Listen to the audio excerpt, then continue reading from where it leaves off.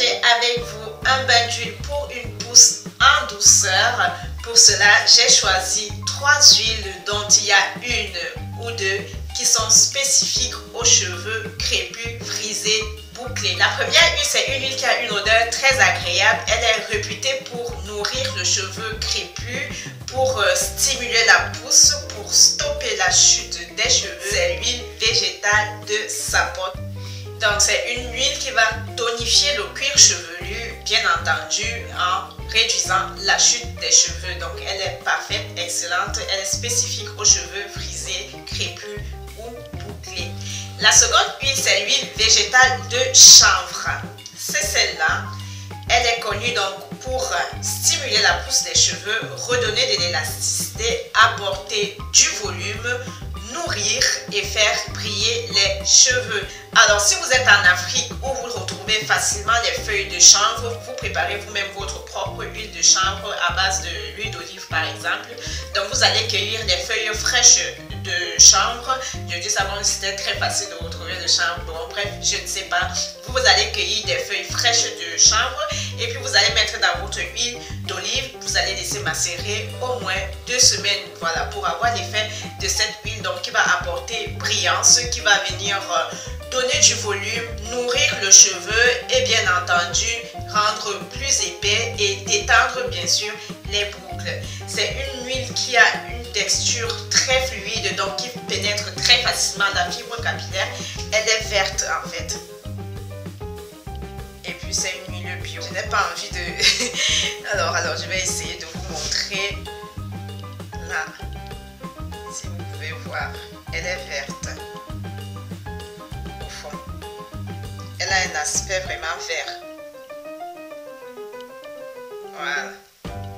Et en passant, c'est une huile qui s'oxyde très facilement. Quand vous l'achetez, il faut immédiatement mettre de la vitamine E pour euh, la préserver le plus longtemps possible. Et pour finir, la troisième huile, c'est tout simplement l'huile de jojoba. C'est l'une de mes huiles chouchou, donc j'ai choisi pour faciliter la pénétration de mes deux autres huiles, de l'huile de sapote et de l'huile de chanvre. Donc pour faciliter la pénétration, c'est une huile qui va rendre le cheveu très doux, qui va pénétrer la fibre capillaire, qui va bien sûr faire briller. Bien entendu, toutes ces huiles sont excellentes également la peau. Donc voilà, je vais vous laisser voir comment je prépare euh, le bain. Ce bain d'huile, il faut le faire une fois par semaine. Et puis, si vous voulez vraiment une pousse en douceur, vous pouvez l'appliquer une à deux fois dans la même semaine en massage du cuir chevelu. Donc voilà, je vous laisse regarder cette petite vidéo de bain. Je vous fais de très gros bisous et je vous retrouve alors, c'est parti pour la préparation de ce bain d'huile pour une pousse en douceur. Si vous n'avez pas ces trois huiles, vous remplacerez sapote par ricin ou alors carapate. Vous remplacerez l'huile de chanvre par l'huile de moutarde et l'huile de jojoba, vous pouvez la remplacer par l'huile de noix, l'huile de macadamia et pourquoi pas l'huile de coco. Inutile de prendre des mesures. Et pour finir, je vais mettre 5 à 6 gouttes de vitamine E pour conserver ma préparation plus longtemps. Je secoue, je mélange bien le tout. Allez, place à l'application. Et avant, il faut chauffer votre huile au bain-marie et l'appliquer tiède pour des effets plus rapides. Je vais humidifier mes cheveux à de l'eau tiède. Je constate avec grand plaisir que mes cheveux deviennent de plus en plus souples. C'est le résultat du choix des huiles adaptées.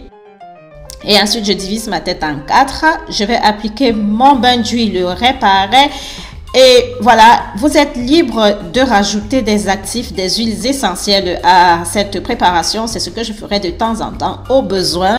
Mais la base, c'est uniquement un bain d'huile pour une pousse en douceur. Donc, je vais appliquer réparer en massant délicatement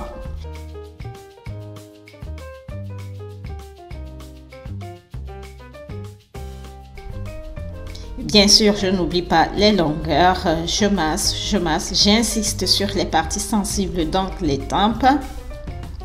Et puis je termine avec une vanille. Donc je vais faire pareil sur toute la tête.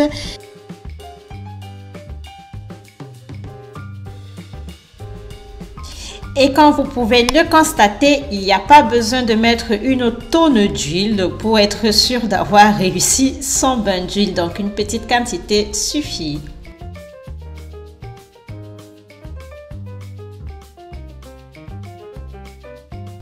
C'est terminé, je vais rajouter quelques petites gouttes à l'avant et je vais refaire un massage général pour détendre un peu les nerfs. Ça fait du bien. J'insiste beaucoup sur mes tempes parce que c'est des endroits qui ont du mal à pousser, d'ailleurs qui poussent moins vite que tout le reste de la tête. Voilà pour le bain d'huile pour une pousse en douceur. Je vais mettre dans une charlotte en plastique et dessus je vais mettre mon bonnet auto-chauffant et je vais laisser poser tout ceci pendant au moins une heure. Et ensuite, je suivrai avec mon shampoing, mon masque et puis mon après-shampoing. Je terminerai bien sûr avec un leave-in. Voilà pour le bain d'huile, mes chers abonnés. Je vous fais de très gros bisous et je vous retrouve très vite. Bisous